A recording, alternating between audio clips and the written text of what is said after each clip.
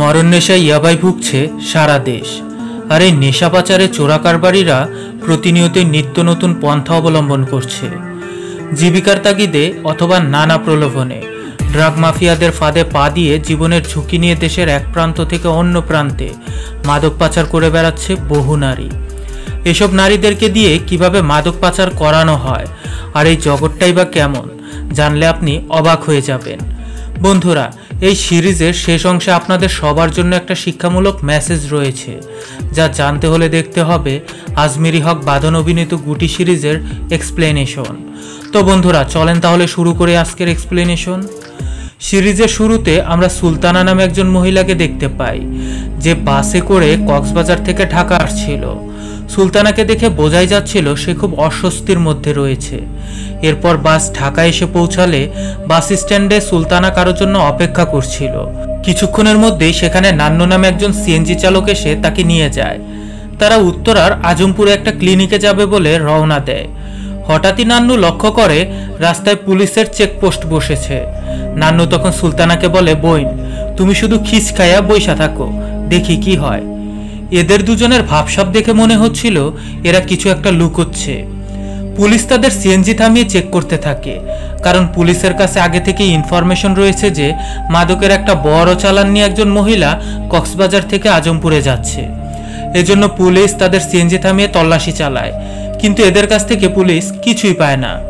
তো এরপর তারা যথারীতি তাদের ক্লিনিকে চলে আসে আর সুলতানা তার গলার ভেতরে আঙ্গুল ঢুকিয়ে বমি করে দুটা পোটলা বের করে। কিন্তু আসল মাল বের হবে তো অন্য দিক দিয়ে। সুলতানা তখন কমোডে বসে দাঁত মুখ খিচে জোরে মারে এক কোদর। আহ, তারপর বের হয়ে আসে শান্তি। নে বাবা পোলাপানরা, যারা যারা মাল খাও, এইবার বুঝছ তো? তোমাদের মাল কোন জায়গা দিয়ে বাইর হয়? মাল খাও নাকি মল খাও? এসব খাওয়া বাদ দাও। যাই হোক সুলতানা তার বিভিন্ন নোংরা জায়গায় বাবার পোটলা ঢুকিয়ে এভাবে করেই বিভিন্ন জায়গায় পাচার করে। আর তার এসব পাচারের ট্রান্সপোর্শনের কাজে সাহায্য করে নান্নু। তো এরপর সুলতানা তার কাজ শেষ করে ফ্রেশ হয়ে যখন ক্লিনিক থেকে বের হতে নেবে, তখন সে রেহানা নামে একজন মেয়েকে মারাত্মক আহত অবস্থায় হুইল চেয়ারে দেখতে পায়। এটা দেখে সে ক্লিনিক থেকে বের হয়ে সিএনজিতে এসে বসে। তখন আমরা দেখতে পাই সিসিটিভির মাধ্যমে সুলতানার উপর কেউ একজন নজর রাখছে। আর এই লোকটি হলো সেই ক্লিনিকেরই ম্যানেজার, তাদের বস। তো বাড়ির পথে যাবার সময় সুলতানা নান্নুকে জিজ্ঞেস করে, রেহানার সাথে কি হয়েছে? ওরে কে এভাবে মারছে? জবাবে নান্নু বলে, পাখি খাঁচা থিকা বাইর হইতে চাইছিল, তাই ডানা কাইটটা আবার ভিতরে হান্দাইয়া দিছে। এই কথা শুনে সুলতানার মনে পড়ে যায় যে রেহানা যে কাজ ছেড়ে দিতে চেয়েছিল, এই কথা সে তাকে বলেছিল। আর সে বলেছিল এই নান্নুকে। তার মানে কি নান্নুই তাহলে এই কথাটা লিক করে দিয়ে মেয়েটার এমন হাল করেছে? এ ব্যাপারে সে নান্নুকে জিজ্ঞেস করলে সে তো অস্বীকার করে। তবে নান্নুর ফেস দেখে তো এটা বুঝাই যাচ্ছিল, কথাটা সেই লিক করেছে। যাবার সময় সুলতানা তার মেয়ের জন্য একটা ব্যাগ কিনতে থামে। তখন নান্নু সুলতানাকে বলে, তুমি যে বলছিলে না দুই রুমের বাসা দেখে রাখতে, আমি কয়টা বাসা দেখে রাখছি। এই নাও ঠিকানা। তবে নান্নু কিন্তু সুলতানাকেও সন্দেহ করতে থাকে। তাই সে জিজ্ঞেস করে আচ্ছা একটা কথা আমারে সত্যি করে কও তো, বাসা, স্কুল, এগুলা তুমি আসলে কার লাইগা দেখতাছো? জবাবে সুলতানা বলে, নান্নু ভাই, আপনার এই সন্দেহ করার রোগটা কিন্তু ভালো না। সুলতানা তারপর তার স্বামীর জন্য একটা হাত গড়ি কিনে নিয়ে কক্সবাজার ফিরে আসে। এখানে এসে সে তার বসের থেকে টাকা নিয়ে সোজা চলে আসে তার স্বামীর দোকানে। সুলতানার স্বামী সেলিম আবার ফার্নিচারের ব্যবসা করত। সুলতানা এরপর তার স্বামীর জন্য আনা ঘড়িটা তাকে দেয়। স্ত্রীর কাছ থেকে ঘড়ি উপহার পেয়ে সেলিম তো খুব খুশি হয়। এরপর তারা দু স্বামী স্ত্রী বাইকে করে তাদের বাসায় ফিরে আসে। বাসায় আসার পর সুলতানা যখন ওয়াশরুমে যায়, তখন সে দেখে তার মলদার দিয়ে রক্ত বের হচ্ছে। আর অন্যদিকে সেলিম বসে বসে তার মোবাইল ফোনে মেয়েদের উল্টাপাল্টা ছবি দেখতে থাকে। তো সুলতানা ওয়াশরুম থেকে বের হয়ে দেখে তার মেয়ে মুন্নি পরীক্ষায় খারাপ করেছে। এজন্য সুলতানা তখন সেলিমের সাথে রাগারাগি করে। কারণ মুন্নির দেখভালের দায়িত্ব পুরোপুরি ছিল সেলিমের উপর।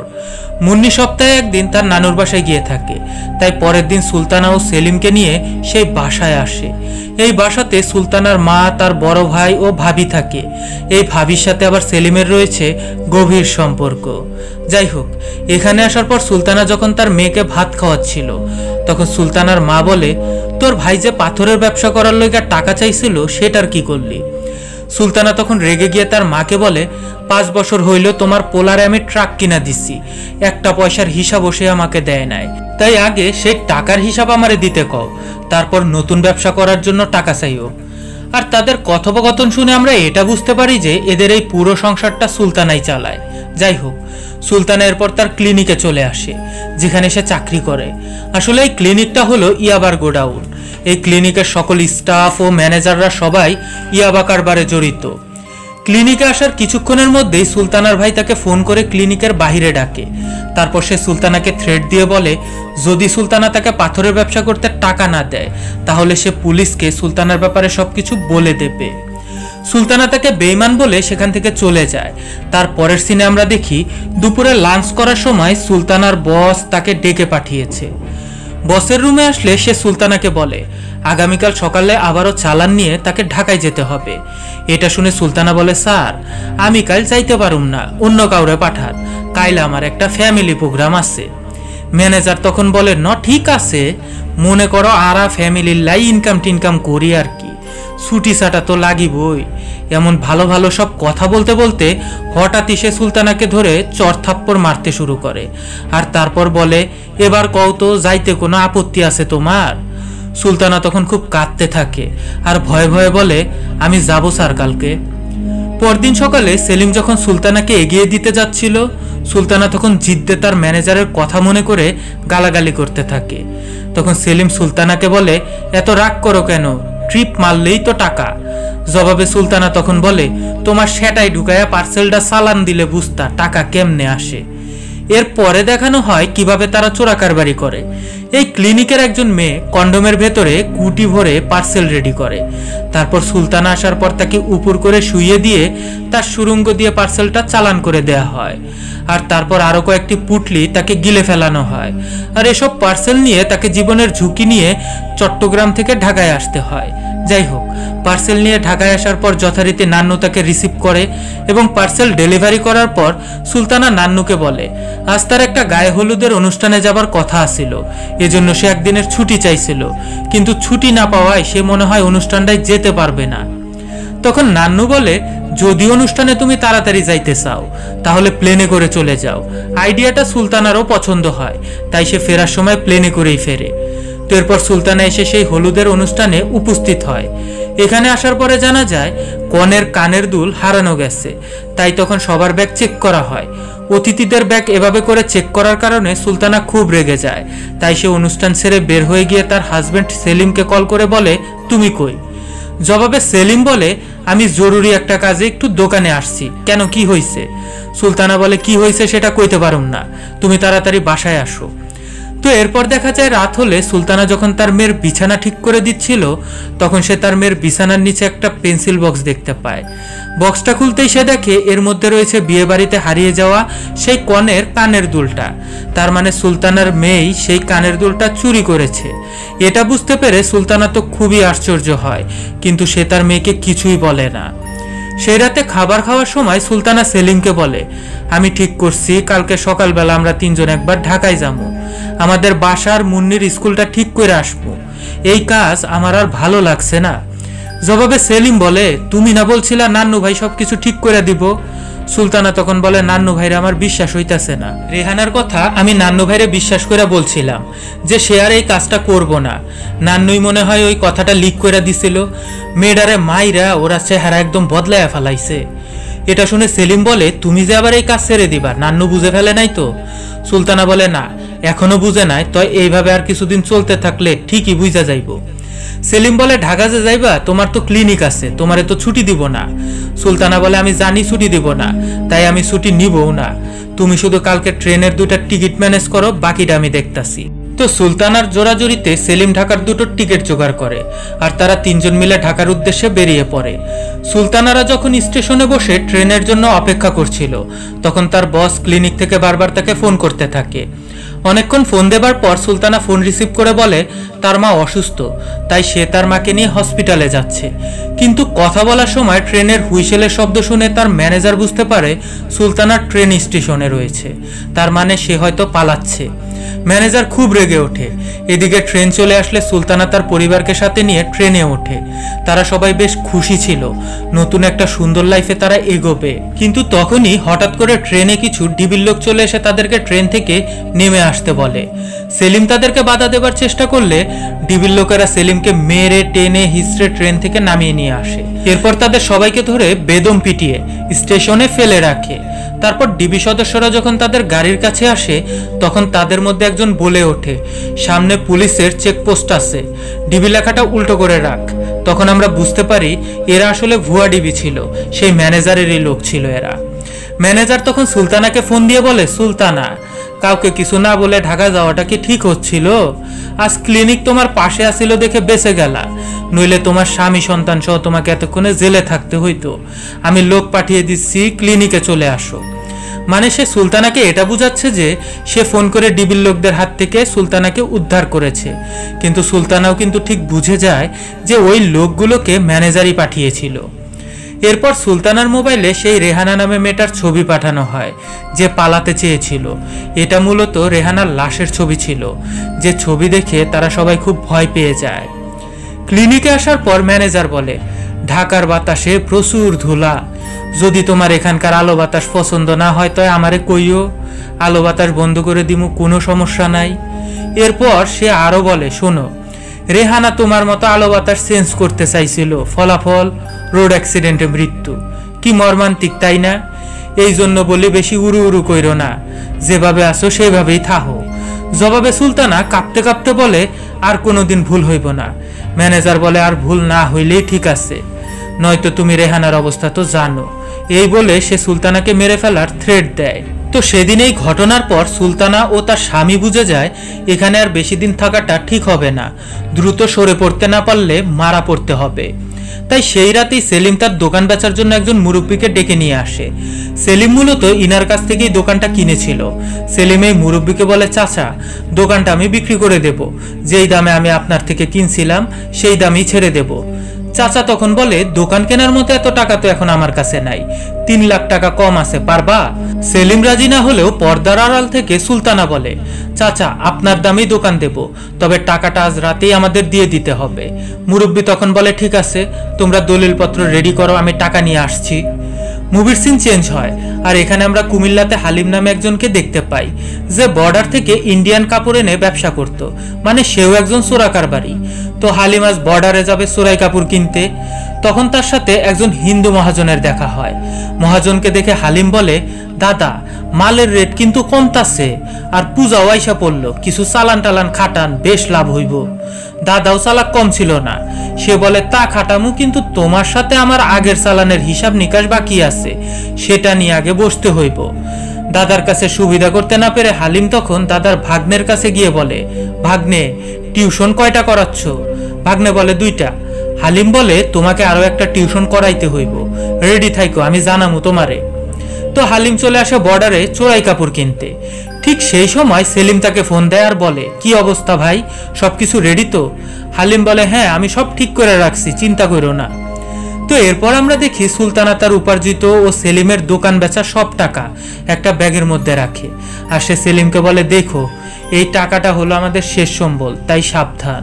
এই বলে সে ক্লিনিকের উদ্দেশ্যে বেরিয়ে যায়। সুলতানা বেরিয়ে যেতেই সেলিম সুলতানার ভাবি লিপিকে ফোন করে ডেকে নেয় শেষবারের মতো লিপিকে গোল করার জন্য। অন্যদিকে সুলতানা ক্লিনিকে এসে আগের মতোই তার সুরঙ্গে মাল ভরে নেয় আর একটা চালান ঢাকায় পৌঁছানোর জন্য। এদিকে লিপি চলে আসলে সেলিম তার মেয়েকে কার্টুন চালিয়ে দিয়ে সে লিপিকে নিয়ে অন্য রুমের দরজা লাগায় আর বলে, শোনো, আমরা কেউ আর চিটাগাং থাকছি না। আজই এখান থেকে চলে যাব, কই যাচ্ছি, কেন যাচ্ছি, কিচ্ছু জিগাইবা না। লিপি তখন বলে, সুলতানার কি কোনো সমস্যা হয়েছে দেখো, পুরা গোষ্ঠী ধরে আবার বিপদে ফালাইও না। জবাবে সেলিম বলে, আমি কাউরে বিপদে ফালামো না। এই বলে সে লিপিকে নিয়ে খাট ভাঙতে শুরু করে। অন্যদিকে সুলতানা তার সুরঙ্গে মাল নিয়ে ক্লিনিক থেকে বেরিয়ে পড়ে। তবে সে আজ মাল সাপ্লাই করতে ঢাকা আসবে না। তার প্ল্যান হলো, সে ঢাকায় আসার পথে কুমিল্লাতে নেমে পড়বে এবং পালিয়ে যাবে। সে কিছু দূর যাবার পর লক্ষ্য করে। বাসের মধ্যে কেউ তাকে ফলো করছে। সে বুঝতে পারে এটা তার বসেরই লোক। এরপর বাস কুমিল্লায় আসার পর মুতার জন্য যখন বিরতি দেয়, তখন সুলতানা বাস থেকে নেমে ওয়াশরুমে চলে আসে। তখনও সে লক্ষ্য করে সেই লোকটি ওয়াশরুমের সামনেই চেয়ার টেনে বসে তার দিকে লক্ষ্য রাখছে। সুলতানা নিশ্চিত হয় এটা তার বসেরই লোক। তো সুলতানা এরপর ওয়াশরুমে এসে তার বডি থেকে গুটি বের করে ফেলে দেয়। কারণ তাকে পালাতে হলে আগে নিজেকে হালকা করতে হবে। তো এদিকে সেই ফলো করা লোকটির ফোন আসলে হোটেলের ভেতরে ঠিকমতো নেটওয়ার্ক না পাওয়াতে সে একটু সরে দাঁড়ালে এই সুযোগে সুলতানা হোটেলের একটা জানালা দিয়ে পালিয়ে যায়। ফোনে কথা বলা শেষ করে লোকটি ফিরে এসে ভাবে, সুলতানা হয়তো বা এখনও ওয়াশরুমেই রয়েছে, কারণ সে তো হোটেলের মেন গেটেই দাঁড়িয়েছিল সেখান থেকে তো সুলতানা বের হয়নি। কিন্তু বেশ কিছুক্ষণ অপেক্ষা করার পর সুলতানার কোনো সারা শব্দ না পেয়ে লোকটি তখন ওয়াশরুম চেক করতে আসলে দেখে সুলতানা পালিয়ে গেছে। এরপর সে হোটেলের চারপাশে সুলতানাকে খুঁজতে থাকে। অন্যদিকে সুলতানা হোটেল থেকে পালিয়ে এসে একটা অটোতে চেপে কুমিল্লা শহরে চলে আসে। এখানে আগে থেকে ঠিক করা একটা জায়গায় এসে সে তার স্বামী সেলিমকে বারবার ফোন করতে থাকে। কিন্তু সেলিম তার ফোন রিসিভ করে না। কারণ বাসের মধ্যে সেলিম মুন্নিকে নিয়ে ঘুমিয়ে পড়েছিল। ঘুম থেকে জেগে সেলিম সুলতানাকে ফোন দিলে সুলতানা সেলিমকে জিজ্ঞেস করে, তোমরা কই? তোমাদের তো এতক্ষণে চলে আসার কথা। জবাবে সেলিম বলে, তুমি কোনো চিন্তা করো না, আমরা পথেই আসি এই বলতেই সেলিমের ফোনে চার্জ না থাকায় সেটা বন্ধ হয়ে যায়। অন্যদিকে সুলতানা যে পালিয়ে গেছে, সে ব্যাপারে লোকটি তখন ম্যানেজারকে জানায়। ম্যানেজার তখন সেই লোকটিকে এক ঘণ্টা সময় দিয়ে বলে, যেভাবেই হোক সুলতানাকে খুঁজে বের কর। এদিকে সেলিমকে ফোনে না পেয়ে সুলতানা খুব চিন্তা করতে থাকে। সে সেলিমের জন্য অপেক্ষা করতে থাকে। তখন হঠাৎ করে কেউ একজন পেছন থেকে এসে তাকে ডাক দেয়। সুলতানা ভয়ে কেঁপে ওঠে। আর তখন আমরা দেখি সুলতানাকে ডাক দিয়েছে হালিম ভাই। হালিম সুলতানাকে বলে, সেলিম ভাই আমাকে ফোন দিছিল। সে বলছে আপনারা বাসায় নিয়ে যেতে। সেলিম ভাই সরাসরি সেখানেই আসবে। সুলতানা বলে, সেলিম আপনারে কেমনে ফোন দিল? ওর ফোন তো বন্ধ। জবাবে হালিম বলে, সেলিম ভাই আমাকে বাসের হেল্পারের নাম্বার থেকে ফোন করছিল। হালিমকে দেখে সুলতানার খুব একটা সুবিধের লোক বলে মনে হয় না। কিন্তু কি আর করা, সেলিম তাকে বলেছিল, হালিম নাকি তাদের থাকার জন্য বাসা রেডি করেছে। তাই সে হালিমের সাথে একটা প্রায় পরিত্যক্ত বাড়িতে চলে আসে। এখানে আসার পর হালিমকে তো সুলতানার আরও বেশি সন্দেহ হতে থাকে যে সে তাকে কোথায় নিয়ে আসলো। অন্যদিকে দেখা যায় সেলিমের চলে যাওয়ার শোকে পাথর হয়ে কান্নাকাটি করে লিপি পড়ে রয়েছে। তখন কুমিল্লা বিশ্বরোড থানা থেকে তার কাছে একটা কল আসে। পুলিশ তাকে বলে, আপনার স্বামী আবু সালে ট্রাক নিয়ে অ্যাক্সিডেন্ট করেছে। তার হাজবেন্ডের অবস্থা বেশি ভালো না। তাই সে যেন দ্রুত হসপিটালে আসে। এদিকে অনেক ক্লান্ত থাকায় সুলতানার চোখটা একটু লেগে আসছিল। কিন্তু তখনই বাসার কলিং বেলের আওয়াজ শুনে দরজা খুলতেই সে দেখে ম্যানেজার তার বাহাদুর স্বামী ও মেয়েকে ধরে ফেলেছে। আর বলতেছে, কই তোর? তোমার লেগে একটা খাঁচার ব্যবস্থা করছি। আর তাদের পেছন থেকে নান্নু বেরিয়ে এসে বলে, আমার বোন। এসব কিছু দেখে সুলতানা সহ্য করতে না পেরে ভয়ে অজ্ঞান হয়ে যায়। কিন্তু দেখা যায়, এটা সে স্বপ্ন দেখছিল, বাস্তবে না। অন্যদিকে ম্যানেজারের লোকজন সুলতানার বাসায় কাউকে খুঁজে না পেয়ে তার ভাই সালেকে খুঁজতে কুমিল্লাতে লোক লাগায়। কারণ সালের ট্রাক কুমিল্লা স্ট্যান্ডে থাকতো। তখন সে জানতে পারে আর চার দিন হলো সালে তার ট্রাক নিয়ে উধাও। এদিকে লিপি চলে আসে হসপিটালে সালের কাছে। আর সুলতানা তার ব্যাগ ভর্তি টাকা একটা ট্রাঙ্কে ভরে খাটের নিচে রেখে দেয়। আর ঠিক তখনই বাসার কলিং বেল বেজে ওঠে। সেলিম দরজা খুললে দেখে হালিম একটা ছেলেকে সাথে করে নিয়ে এসেছে। এটা হলো সেই ভাগ্নেটা যাকে হালিম বলেছিল, নতুন একটা প্রাইভেট পড়াতে হবে। তো হালিম তখন সুলতানাকে বলে, ভাবি, এর নাম হচ্ছে প্রদীপ। ইংলিশে অনার্স করতেছে। আপনি মুন নিমামুনিরে পড়ানোর জন্য বলছিলেন না, এজন্য নিয়ে আসছি। সুলতান আর সেলিম তো এতে খুবই খুশি হয়ে যায়। তো এরপর সেলিম হালিমকে জিজ্ঞেস করে, ভাই, এই বাসাটা কার? বাসাভর্তি এত মালপত্র আমরা কি ব্যবহার করতে পারব? জবাবে হালিম বলে, কোনো চাপ নাই, ব্যবহার করেন। এই বাসার লোক আর কখনো ফিরে আসব না। হালিমের কথাবার্তা শুনে সুলতানার হালিমের প্রতি সন্দেহ আরও বেড়ে যায়। ওদিকে হসপিটালে আসার পর লিপি জানতে পারে তার স্বামীর একটা পাক কেটে ফেলতে হবে। এটা শুনে তো তার মাথায় যেন আসমান ভেঙে পড়ে। অন্যদিকে আমরা দেখি সুলতানা পালিয়ে যাওয়াতে মাদক চোরা কারবারিরা খুবই আতঙ্কে রয়েছে। এজন্য দ্রুত সুলতানাকে খুঁজে বের করতে নান্নু ঢাকা থেকে চিটাগং চলে এসেছে। ম্যানেজার নান্নুকে বলে, সুলতানা যদি কোনোভাবে পুলিশের কাছে গিয়ে তাদের সব ইনফরমেশন লিক করে দেয়, তাহলে ব্যবসা বন্ধ করে তাদের সবাইকে জেলে যেতে হবে। বুঝতে পারছ? জবাবে নান্নু মিয়া বলে ওইটা বুঝবার পারছি, মাগার সাত গাইয়া ভাষা বুঝতে গোয়া ভাইটা যাইতাছে। যাই হোক এর পরের সিনে আমরা দেখি প্রদীপকে সাথে নিয়ে সুলতান একটা স্কুলে আসে মুন্নির ভর্তির ব্যাপারে কথা বলতে। কিন্তু স্কুল থেকে জানিয়ে দেয়, বছরের মাঝামাঝি সময় তারা ভর্তি নেয় না। বাসায় ফিরে এসে সুলতানা দেখে সেলিম কার মোটরসাইকেল নিয়ে যেন ঘুরে বেড়াচ্ছে। সেলিম বাসায় আসলে সুলতানা তাকে জিজ্ঞেস করে, তুমি মোটর সাইকেল কোথায় পাইছো? জবাবে সেলিম বলে, এটা হালিম ভাইয়ের। গ্যারেজে পড়েছিল, আমাকে চালাইতে বলছে, তাই চালাচ্ছি। অন্যদিকে আমরা দেখি ডাক্তাররা সালের পা কেটে ফেলেছে। পা হারিয়েও সালের বিগার কমেনি। সে হসপিটালের মধ্যে লিপিকে হুদাই গালাগালি করতে থাকে। আর তারপর সে লিপির কাছে তার ট্রাক ও সুলতানার খবর জানতে চায়। কিন্তু লিপি এসব ব্যাপারে কিছু না জানায়, কিছু বলতেও পারে না। ওইদিকে সেই রাতে সেলিম সুলতানাকে বলে, কিছুদিন ঘোরাঘুরি করে দেখলাম হালিমের ব্যবসাটা বেশ জমজমাট, তাই ভাবছি হালিমের ব্যবসায় লাখ তিনেক টাকা ইনভেস্ট করব। তখন সুলতানা বলে হালিম রে আমার সুবিধার লোক বলে মনে হয় না। উপরে ভাই ভাই বললেও ভিতরে খাই খাই। কিন্তু সেলিম সুলতানার কথা মানতে চায় না, তাই সুলতানা বলে, টাকার গাছ তো আছেই সারা দিয়ে নিয়ে যায়ও তারপর আমরা দেখি সুলতানা ঘুমিয়ে পড়লে সেলিম লুকিয়ে লুকিয়ে লিপিকে ফোন দেয়। লিপি তাকে জানায়, সালে অ্যাক্সিডেন্ট করে কুমিল্লা হসপিটালে ভর্তি আছে। তার একটা পাক কেটে ফেলতে হয়েছে। কথা শেষ না হতেই সুলতানা সেখানে চলে আসে আর সেলিম ফোনটা রেখে দেয়। সুলতানা জিজ্ঞেস করে, এত রাতে তুমি কার সাথে কথা বলছিলা? সেলিম উত্তরে বলে, হালিমের সাথে ব্যবসার ব্যাপারে কথা বলছিলাম। তো পরদিন সকাল হলে সেলিম তার প্রিয়তমার সাথে দেখা করতে হসপিটালে চলে আসে। এখানে আসার পরে সেলিমকে কাছে পেয়ে লিপি তো খুব কান্নায় ভেঙে পড়ে। সে বারবার তাদের বাসার ঠিকানা জানতে চাইলেও সেলিম লিপিকে তাদের বাসার ঠিকানা বলে না। তো সে লিপিকে বলে, হসপিটালে টাকা পয়সা নিয়ে তোমাকে কোনো চিন্তা করতে হবে না। সে ব্যবস্থা আমি করে দেব। আর আমার সুবিধা মতো সময় এসে আমি তোমার সাথে দেখা করে যাব। এই বলে সে চলে যাবার আগে লিপিকে একবার জড়িয়ে ধরে। তখন আমরা দেখি পেছন থেকে কেউ একজন তাদের দুজনের ছবি তোলে। তারা এটা খেয়ালই করেনি। আর তাই তারা যে যার যার মতো সেখান থেকে চলে যায়। কিন্তু আমরা দেখি এটা হলো সেই ম্যানেজারের লোক, যে সুলতানার ভাইয়ের খোঁজ করতে করতে হসপিটাল অবধি পৌঁছে গেছে। সেই লোক ম্যানেজারকে ফোন করে জানালে ম্যানেজার বলে, তুই লিপির উপর নজর রাখ। সেলিম আবার ওয়াইব, সেলিম আর লিপিরে দিয়া সুলতানারে পাওয়া যাইব। এরপর আমরা দেখি লিপি হসপিটালের ওয়ার্ডে ফিরে আসলে সালে তাকে বলে, তুই কই গেছিলি ড্যাশমাগি লিপি তখন বলে, চুপ করেন, আপনি তো এখানে ঠ্যাং কোলের মধ্যে তুইলা শুয়ে আছেন। জানেন হসপিটালে কত টাকা বিল হইছে? আপনি কি পারবেন এইখান থেকে বের হতে? লিপির কথা শুনে সালে তো খুবই রেগে যায়। সে হ্যাডম দেখিয়ে বলে, তুই আমার টাকার গরম দেখাস, দে আমার আমার ফোন দে, দেখ, আমি টাকা আনতাছি। এই বলে সে তার ট্রাক সমিতির একজন নেতাকে ফোন করে। তো সেই নেতা কিন্তু অলরেডি সালের ট্রাক ভুয়া কাগজপত্র বানিয়ে আট লাখ টাকায় বিক্রি করে দিয়েছে।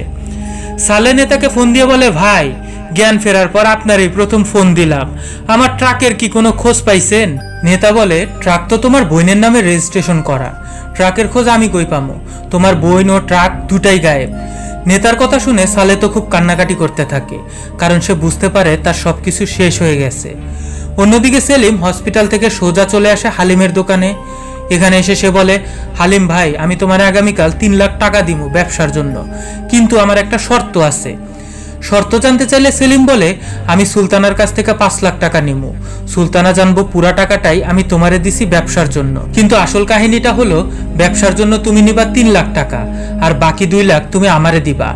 এই ব্যাপারে সুলতানা কিছুই জানব না। যদি রাজি থাকো, তাইলে আমি সব ব্যবস্থা করতাছি। তখন হালিম তার কথায় রাজি হয়ে যায়। সেলিমের প্ল্যানটা হলো পাঁচ লাখ টাকার তিন লাখ টাকা হালিমকে দিয়ে সে ব্যবসা করবে আর বাকি দুই লাখ সে লিপিকে দিবে। যাই হোক, সেদিন প্রদীপ স্যার মুন্নিকে পড়াতে এসে সুলতানাকে বলে, আপা, আপনাকে একটা কথা বলার ছিল। কিন্তু কীভাবে যে বলি? সুলতানা বলে, কি কথা স্যার? বলেন, কোনো সমস্যা নাই। প্রদীপ তখন বলে, আপা সেদিন মুন্নিকে পড়াতে সে একটা ফাউন্টেন পেন ফেলে রেখে গেছিলাম। সে পেনটা আমি আর খুঁজে পাচ্ছি না। যদি আপনি খুঁজে পান তাহলে আমাকে সেটা দিয়েন। সুলতানা তো বুঝে যায় এই অপকর্মটা তার মেয়েই করেছে, কারণ অন্যের জিনিস সরিয়ে ফেলার অভ্যাস তার মেয়েরই ছিল। হয়তো আপনাদের মনে আছে সেই বিয়ে বাড়িতে কনের কানের দুলটাও কিন্তু মুন্নিই সরিয়েছিল। যাই হোক, সেই রাতে খাবার খাওয়ার সময় সুলতানা সেলিমের কাছে এসে বলে, আমার না পায়খানার রাস্তা দিয়ে থোকা থোকা রক্ত যাইতেছে। এটা শুনে সেলিম বলে খাওয়ানোর সময় কি সব পায়খানার কথা বলো? সুলতানা তখন রেগে গিয়ে বলে, খাউন যে খাইতেছো, গোয়া দেয়া মাল না টানলে ওই খাওন আর খাওন লাগতো না।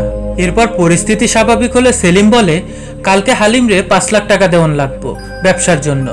সুলতানা তখন বলে, তিন লাখ থেকে পাঁচ লাখ হইল কেমনে?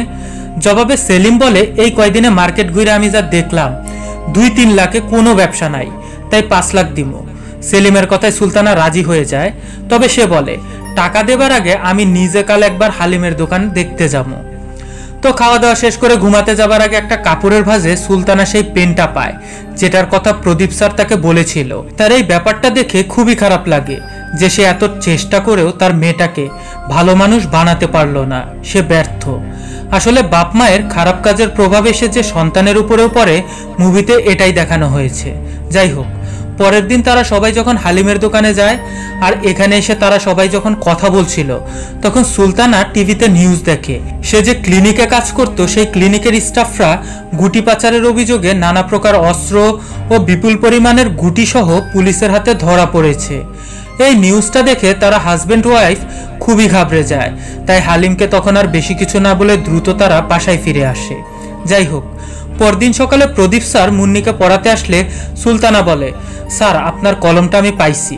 কিন্তু স্যার, আমি খুব চিন্তায় আছি। আমার মাইয়াডা না মাঝে মধ্যেই অন্যের জিনিসপত্র লুকায়। এর আগেও কয়েকবার এমন কাজ করছিল। আমার মাইয়াডা কি আর কখনো ঠিক হইব না? এটা শুনে স্যার তখন বলে, আপা, আপনি না, শুধু শুধু টেনশন করতেছেন। ছোটবেলায় আমারও এমন অভ্যাস ছিল কিন্তু দেখেন, আমি তো এখন ভালো হয়ে গেছি। তার মানে প্রদীপ স্যারও ছোটবেলায় চোর আসিল রাত হলে সুলতানা সেলিমকে পাঁচ লক্ষ টাকা দেয় আর বলে, আমি হালিমরে বিশ্বাস করি না। টাকাটা আমি তোমাকে দিচ্ছি। তুমি আমারে ডুবাইও না। পরদিন সকালে প্রদীপ স্যার মুন্নিকে নিয়ে একটা স্কুলে এসে তাকে ভর্তি করিয়ে দেয়। কিন্তু প্রথম দিনে তার ক্লাস হয় না। তাই স্কুল থেকে বের হয়ে তারা সেলিমকে ফোন দেয় তাদের নিয়ে যেতে। কিন্তু সেলিম এই সময়ে তার লিপি ভাবিকে ফোন করে বাসায় নিয়ে এসে ওয়ান ডে ম্যাচ খেলতে থাকে। তাই ব্যস্ত থাকায় সে সুলতানার ফোন রিসিভ করতে পারে না। সুলতানাও আর অপেক্ষা না করে একটা রিস্কা নিয়ে বাসায় চলে আসে। বাসার কলিং বেলের আওয়াজ শুনে কোনো রকমে সেলিম তার লুঙ্গি পড়তে পড়তে এসে বাসার দরজা খোলে। দরজা খুলে সে সুলতানাকে দেখে তো ভয়ে কেঁপে ওঠে, কারণ এত আগে তো তার আসার কথাই ছিল না। সেলিম বুঝতে পারে সে ধরা পড়ে যাবে, তাই নিচ থেকে এসে আগ বাড়িয়ে বলে, লিপি ভাবি বাসায় আসছে। তখন লিপির অগোছালো চুল আর তাকে শাড়ি ঠিক করতে দেখে সুলতানা তো বুঝেই যায়, এতক্ষণ ধরে রুমে কি তসনস হচ্ছিল। তখন লিপি সুলতানাকে তার ভাইয়ের ব্যাপারে জানায়। সুলতানা তখন লিপিকে কিছু টাকা দিয়ে বলে তোমাকে লইগে আমার পক্ষে যা যা করা সম্ভব আমি করছি। এইবার আমারে মাফ করো, আমি আর তোমাকে কারও চেহারা দেখতে চাই না। আর সে সেলিমকে বলে, লিপিকে যেখান থেকে আনছো সেখানে নামাইয়া দিয়ে আসো। তো এরপর সেলিম লিপিকে নামিয়ে দিয়ে আসতে যায়। আর তারা চলে যাবার পর আমরা দেখি ম্যানেজারের লোক সেলিম ও লিপিকে ফলো করে তাদের বাসা অবধি চলে এসেছে। সেলিম বের হয়ে যাবার পর সুলতানা খুব কাঁদতে থাকে। যাদের জন্য সে তার জীবন, যৌবন সব কিছু নষ্ট করে ফেলল, সেই তারাই কিনা শেষমেশ তার বিশ্বাস নিয়ে খেলা করল। পরদিন সকালে সেলিম বের হয়ে পড়ে বর্ডারে চোরাই কাপড় আনতে আর সুলতানা চলে আসে তার মেয়েকে নিয়ে স্কুলে। স্কুল ছুটি হলে মুন্নি আইসক্রিম খেতে চায়। এজন্য আইসক্রিমের দোকানের সামনে এসে সুলতানা তখন বলে, ভাই দুইটা আইসক্রিম দেন। তখন হঠাৎ করে পেছন থেকে নান্নু এসে বলে দুইটা না ভাই তিনটা দেন। আর দাম কিন্তু বই না আমি দিমু। নান্নুকে দেখে সুলতানার তো মরার দশা। সে বুঝতেই পারছিল না যে নান্নু এখানে কীভাবে আসলো। নান্নু তখন সুলতানাকে পাশের একটি পার্কে বসিয়ে একটা ভিডিও দেখিয়ে বলে, দেহ বোন, তোমারে খুঁজা বাইর করতে আমার কত কষ্ট করতে হয়েছে সুলতানাকে তখন সেলিম লিপির হাসপাতালে জড়াজড়ি করার ভিডিওটা দেখানো হয়। সুলতানা বুঝতে পারে কীভাবে নান্নু তার খোঁজ পাইছে। নান্নু সুলতানাকে বলে, সবাই মনে করতেছে, তুমি এই ব্যবসার গোমর জায়গা মতো ফাঁস করে তাদের ধরাইয়া দিছো। তাই তোমার এখন বোন আমার সাথে যাইতে হইব। সুলতানা তখন বলে, ভাই, দেখেন, আমি আমার মাইয়াটার কসম কইরা কইতাছি, আমি কাউরে কিচ্ছু কই নাই। কিন্তু নান্নু বেটা ছিল বহুত বড় হারামি। সে সুলতানার কথা বিশ্বাস করছিল না। সুলতানাকে সে তার গাড়িতে করে নিয়েই যাবে। সে তাকে গাড়িতে উঠতে বলে। সুলতানা বেশ ভালো করেই জানে গাড়িতে উঠলে হারামিরা তাকে নির্ঘাত মেরে ফেলবে। এজন্য সুলতানা তখন বাঁচার জন্য তার মেয়েকে নিয়ে পালিয়ে যেতে নেয়। তখন নান্নু তাকে ধরে ফেলে। সুলতানা তখন চেঁচামেচি করে লোকজন জড়ো করে নান্নুকে পিটানি খাওয়ায় আর সে পালিয়ে যায়। কিন্তু নান্নুর লোকজন তখন সুলতানার পিছু নিতে থাকে। তবে সুলতানা তাদের চোখ ফাঁকি দিয়ে একটা জায়গায় এসে লুকিয়ে পড়ে। এরপর সুলতানা সেলিমকে ফোন করে। কিন্তু তার ফোন রিসিভ করে পুলিশ কারণ বর্ডারে চোরাই কাপড় কিনতে গিয়ে সেলিম পুলিশের হাতে আটক ঢুকলে সে দেখতে পায়। সেখানে নান্নুর লোকজন অনেক আগে থেকেই সুলতানার জন্য অপেক্ষা করছে। এজন্য সে বাসায়ও ঢুকতে পারছিল না। তাই সে তখন আশ্রয় নিতে চলে আসে হালিমের দোকানে। কিন্তু এখানে এসেও সে দেখে দোকানও বন্ধ। হালিমের সাথে যোগাযোগ করবার জন্য সে বারবার ফোন দিলেও দেখে তার ফোনটা বন্ধ। সুলতানা এবার কি করবে, কোথায় যাবে কিছুই বুঝে উঠতে পারছিল না। তাই সে তখন একটা বোরকা পরে চলে আসে প্রদীপ স্যারের সাথে দেখা করতে। প্রদীপের মামার একটা ট্রাভেল এজেন্সি ছিল। সন্ধ্যার পরে প্রদীপ এখানে এসে কাজ করত। সুলতানা তখন প্রদীপকে বলে, তাকে একটা নিরিবিলি জায়গায় নিয়ে যেতে। প্রদীপ সুলতানাকে একটা পুরাতন জমিদার বাড়ির সামনে নিয়ে আসে। এখানে আসার পর সুলতানা প্রদীপকে বলে, স্যার, আমি আগে একটা খারাপ কাজে জড়িত ছিলাম, কিন্তু আমি সেই পথ ছেড়ে দিয়ে এখন ভালো হয়ে গেছি। কিন্তু ওই বদমাসগুলো এখন আমার পিছু ছাড়ে নাই। তারা আমার বাসার সামনে ঘোরাঘুরি করতেছে। এজন্য আমি বাসায়ও যাইতে পারতেছি না। এরপর সে তার বাসার চাবি দিয়ে বলে, স্যার, আপনি আমার একটা উপকার করেন। আপনি আমার বাসায় গিয়ে খাটের নিচে দেখবেন একটা ট্রাঙ্ক আছে, আর তার ভেতরে একটা ব্যাগ আছে। আপনি আমার সেই ব্যাগটা একটু আইনে দেন। আমি আজকেই আমার মেয়েটারে নিয়ে অন্য কোথাও চইলা যাব প্রদীপ দেখে এরা মা মেয়ে আসলেই বেশ বিপদে পড়েছে। তাই সেও তখন চাবিটা নিয়ে চলে আসে সেই ব্যাগটা নিতে। ব্যাগ নিতে এসে প্রদীপ যখন বাসার ভেতরে ঢোকে, নিচে দাঁড়িয়ে থাকা নান্নুর লোকেরা বুঝে যায় বাসার ভেতরে কেউ একজন এসেছে। ওদিকে বাসার ভেতরে প্রদীপ খাটের নিচ থেকে ট্রাঙ্কটা বের করে যখন সে ব্যাগটা খোলে, তখন তো সে দেখে ব্যাগ ভর্তি টাকা। ব্যাগের চেন লাগিয়ে সে যখন বের হতে নেবে, তখন সে বুঝতে পারে সুলতানাকে যারা মারতে চায়, তারা বাসার ভেতরে ঢুকে পড়েছে। এজন্য সে তখন বাসার জানালা দিয়ে লাফিয়ে পড়ে পালিয়ে যায়। কিন্তু দুর্ভাগ্যবশত তার ফোনটি পকেট থেকে সেখানেই পড়ে যায়। নান্নুর লোকেরা রুমে এসে কাউকে খুঁজে পায় না। কিন্তু ঠিক তখনই ওই বাসায় হালিম চলে আসে সুলতানার কাছে টাকা নিতে, যাতে সে সেলিমকে ছাড়িয়ে আনতে পারে। হালিম ঘরে ঢোকার পরে দেখে এখানে অপরিচিত সব লোকেরা দাঁড়িয়ে রয়েছে। সে কিছু বুঝে ওঠার আগেই নান্নুর লোকেরা তাকে গুলি করে মেরে দেয়। ওদিকে সুলতানা প্রচণ্ড টেনশনে মুন্নিকে সাথে নিয়ে সেই জমিদার বাড়ির সামনে বসে থেকে প্রদীপের জন্য অপেক্ষা করতে থাকে। কিন্তু তার আর কোনো খোঁজই নেই। ফোন করেও তাকে পাওয়া যাচ্ছিল না। তখন সুলতানা তার মেয়েকে নিয়ে আবার চলে আসে প্রদীপের দোকানের সামনে। এখানে এসে সে দেখে দোকানটাও বন্ধ। তখন সে উপায়ন্ত না পেয়ে আবারও হালিমকে ফোন দেয়। এদিকে হালিমকে মেরে ফেলে তার ফোন তো নান্নু নিয়ে নিয়েছে। সুলতানার ফোন পেয়ে নান্নু গলা নিচু করে বলে, ভাবি, আপনি কোথায়? সুলতানা তখন বলে, ভাই, আমি তো প্রদীপের মেশর দোকানের সামনে। এটা শুনে নান্নু বলে, প্রদীপের মেশর তো তিনটা দোকান, আপনি কোনটার সামনে? সুলতানা তখন বলে, ওই যে পুলিশ লাইনের সামনে। এটা শুনে নান্নু তখন ভুল করে বলে ফেলে, আপনি ওখানে থাকেন, খেলা হন আমগো কন্ট্রোলে এই খেলা হন আমগো কন্ট্রোলে এই কথা শুনে সুলতানা বুঝে যায় এটা হালিম না, এটা নান্নু। কারণ এই খেলাধুলা নিয়ে বিভিন্ন ডায়লগ নান্নুই দিত। সুলতানা তখন দ্রুত সেখান থেকে ফিরে আসে সেই বাড়ির সামনে, যেখানে প্রদীপ তাদেরকে রেখে গিয়েছিল। এখানে এসে সে দেখে প্রদীপ এখানে তাদের জন্য অপেক্ষা করছে। প্রদীপ তখন সুলতানাকে বলে, আপনার বাসার কাছে গিয়ে দেখি হালিমকে কেউ আপনার বাসায় মেরে ফেলেছে। এজন্য আপনার বাসা পুলিশে ভরে গেছে। তাই আমি ব্যাগ আনতে পারি নাই। মনে আছে বন্ধুরা? এই প্রদীপই কিন্তু একদিন সুলতানাকে বলেছিল, ছোটবেলায় মানুষের জিনিস লুকিয়ে ফেলার অভ্যাস তার ছিল। আসলে সে অভ্যাসটা সে এখনও ছাড়তে পারে নাই। তাই সিস্টেমে সুলতানার সব টাকা সে মেরে দেয়। সারা জীবনের সম্বল হারিয়ে সুলতানা তো খুব কান্না করতে থাকে। কারণ সে তার এই অসুস্থ শরীরে এই মেয়েটাকে নিয়ে এখন কোথায় যাবে, কি করবে, কিছুই সে জানে না। অবশেষে সুলতানার কান্না দেখে প্রদীপের পাষাণ মনটা গলে যায়। তাই সে সুলতানাকে বলে, আপা, আপনি মন্দিরে নিয়ে মালয়েশিয়া চলে যান, আমি সেই ব্যবস্থা করে দিচ্ছি। তার মানে প্রদীপ তাদের দুজনকে অবশেষে মালয়েশিয়াতে পাচার করার সিদ্ধান্ত নেয়। তো এর দিন সকালে প্রদীপ সুলতানা ও মুন্নিকে নিয়ে একটা দ্বীপে চলে আসে। আর এই দ্বীপ থেকে তারা একটা নৌকায় চড়ে সমুদ্র পথে মালয়েশিয়ার পথে রওনা দেবে।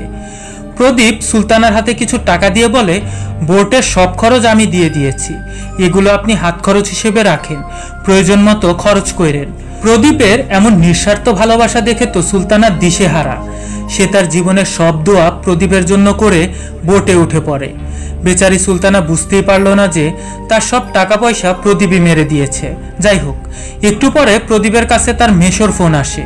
আর সে তাকে বলে, হালিমের মার্ডার যেখানে হয়েছে, সেখানে তোর ফোনটা পাওয়া গেছে। তাই পুলিশ তোকে হন্যে হয়ে খুঁজছে। তার মানে প্রদীপ ফেসে গেছে। বন্ধুরা, এই সিরিজটাতে মূলত এটাই দেখানো হয়েছে যে পাপ করে কখনো ভালো থাকা যায় না। প্রদীপের লোভের কারণে সে খুন না করেও আজ খুনের আসামি। ওদিকে সুলতানার মা যে মেয়েকে দিয়ে পোটলাটা নিয়ে খাইতো, আজ সে অসুস্থ হয়ে বিছানায় পড়ে রয়েছে। তাকে একটু পানি দেবার মতো কেউ নেই।